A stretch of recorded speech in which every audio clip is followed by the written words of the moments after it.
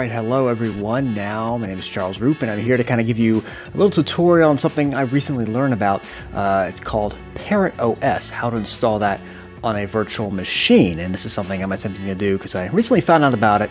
Uh, kind of a newbie in this whole field, and I decided, you know what, let me try to dabble into this a little bit and kind of explain um, a little bit on how to install it. Say, if you're a newbie like myself trying to get into more of the cybersecurity, networking, or just want to tinker with things, uh, way to install it. Now, uh, this may come at a cost because I had some issues earlier installing this on uh, called something called VirtualBox. That's a virtual machine software. So basically, you install OS on top of an OS.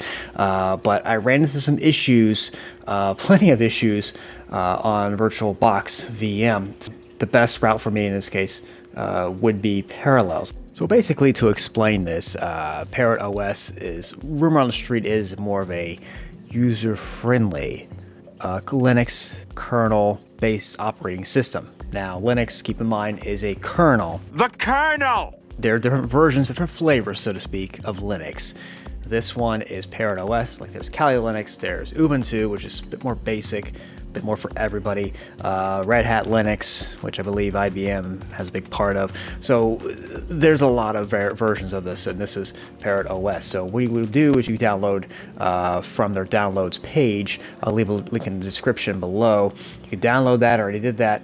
Uh, and save it to your uh, save it to one of your directories. I saved it on the uh, main directory, made a folder specifically for Parrot OS, so you can be able to pull that out instead of leaving it in the downloads folder. So what I will do now uh, is I will go ahead and create a new virtual machine. I already have in the control center, I have Kali Linux. So we'll go ahead and create a new virtual machine. Now it'll tell you you can get Microsoft 11 or Windows 11 from Microsoft. Of course, there's a fee involved with that. Uh, but there are other free systems out there. I guess, like I said, Ubuntu, uh, there's CentOS. I haven't messed with some of these. It's, I've used Ubuntu once. It's been quite a while though. Uh, but you don't see it on here. That's okay. You can install from uh, a DVD or image file or ISO file. I'll show you that in just a second. So when I click on that, go to continue, and there it is, Parrot. Go ahead and open that. So we'll go ahead and continue with that. We're going to call this, uh, let's see, uh, Parrot OS. Uh, we could save it in the main directory. That's fine. It's going to take about six and a half gigs of space. We can do some customization with the settings a little bit later on. So we'll go ahead and create. Now we'll go to hardware. So basically we can use, if you want, the full recommendation of, um, uh, I have 4 gigs of RAM in my computer here, so we'll go ahead and uh, use that, or 8 gigs, excuse me, 8 gigs of RAM on my 2018 Mac Mini, two processors, so we'll go ahead and leave it at that. Advanced, uh, all this is fine. Graphics though, we'll use the, um, leave it on auto, we can turn off 3D acceleration, we don't really need that and then we'll go to network. Now this is the issue I had before. We'll go to bridge network. We'll go to Ethernet, in my situation at least. So we'll leave Ethernet for the um, bridge network. It'll work, this will work. Parrot OS, hard disk drive, it'll use that disk capacity, 64 gigs. You can change this if you wanted to. Um, we can decrease that if you needed to. I think maybe 32 gigs or so, uh, maybe 40 at the most and we'll leave it at 30. I don't expect to use a lot of space on here. So we'll apply. It'll give you a warning, resizing this is sensitive to power failure, similar events. So definitely back up. We'll go ahead and leave it at that. We'll close that out. We'll hit OK, and we'll continue on. And then we'll go ahead and X out of this and hit continue. Of course, I'm on a trial. I'll just continue the trial for now. All right, and here we are. So we'll go ahead and uh, this may take a while, so we'll go ahead and try to install.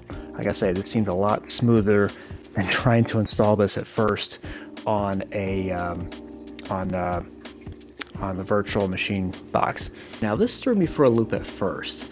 Apparently this is a little different than your typical uh, OS. For instance, you see a box that says, oh, go ahead and install, kind of like with Kali Linux or any other uh, piece of software.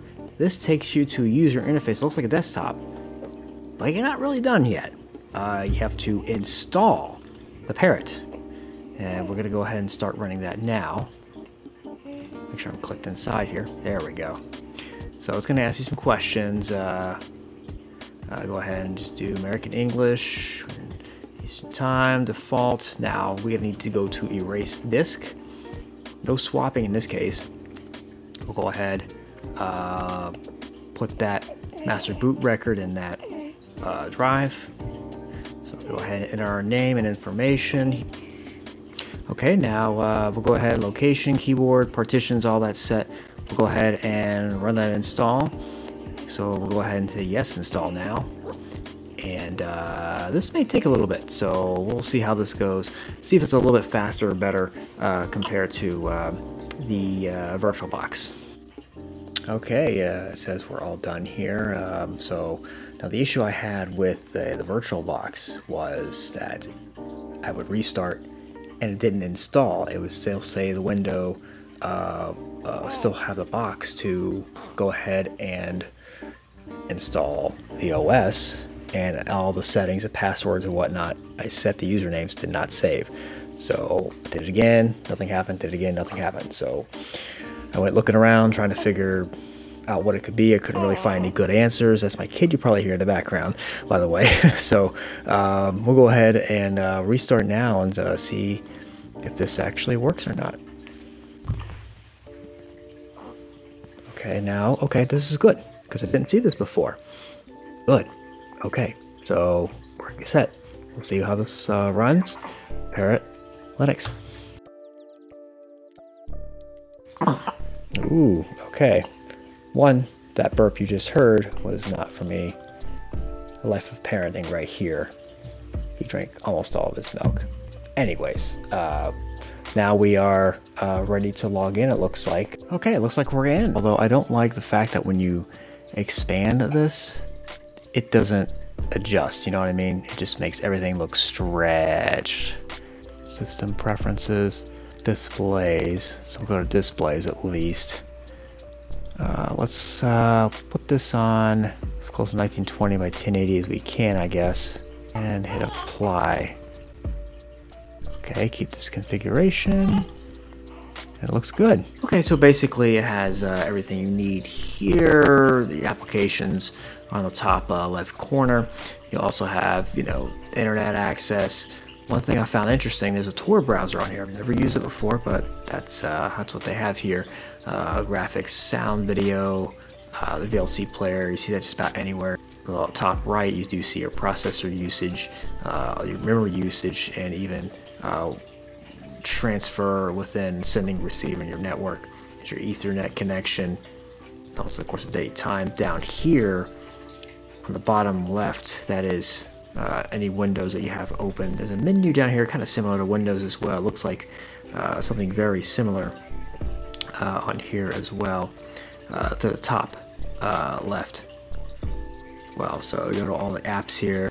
I need to do a little bit more research into the tools uh, that they have on this as well, but from what I've heard, it's a bit more user friendly for the intro crowd as well. So I have to do a little bit more exploring uh, on some of my downtime. It's probably not a bad idea when you install a new OS to go ahead and run updates uh, just to make sure everything's squared away. Of course, there's a lot on here. Uh, some of that's uh, LibreOffice, some of that's Python. Nonetheless, not a bad idea to get those potential bug patches squared away.